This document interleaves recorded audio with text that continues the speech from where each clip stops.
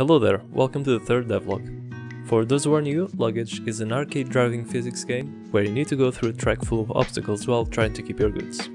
This update video is dedicated to level design. Level design is one of the most challenging aspects of this project, and I tried different approaches. The first one was to study Trackmania.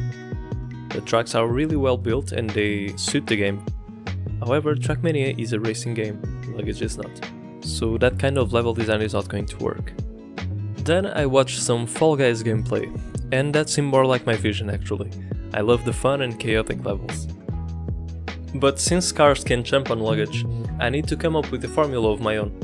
One thing is certain, the tracks must be fun to navigate. That is one of the basic principles for level design. And also I want to reward skilled players. For example, you can choose a slow but easy path, or drive through a hard section but reach the main road faster. So I opened Blender. And I actually had 3D modeling classes in college a long time ago, uh, but I never got really deep into it, I don't know why. So despite taking a long time, I'm enjoying this process of creating my own assets. I'm certain that this won't be the final art though, but it sure works for prototyping. I made a crane and some steel beams, as well as a bunch of cliffs so I could uh, reuse them.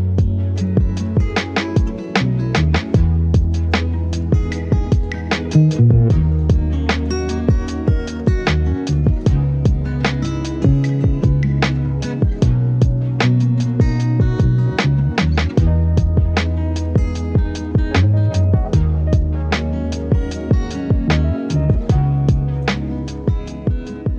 objects modeled, I began working on the level layout and then adding environment assets.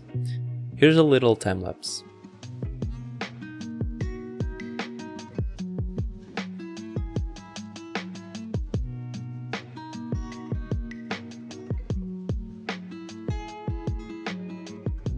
And after some level design, this is the end result.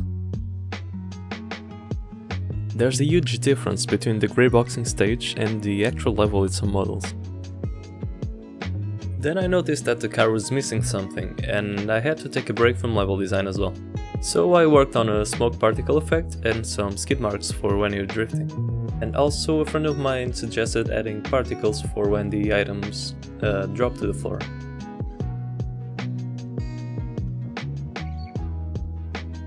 So, in conclusion, I still feel like I haven't found the game's identity yet. I'm struggling a bit to find a coherent art style and personality, mainly due to my inexperience in modeling.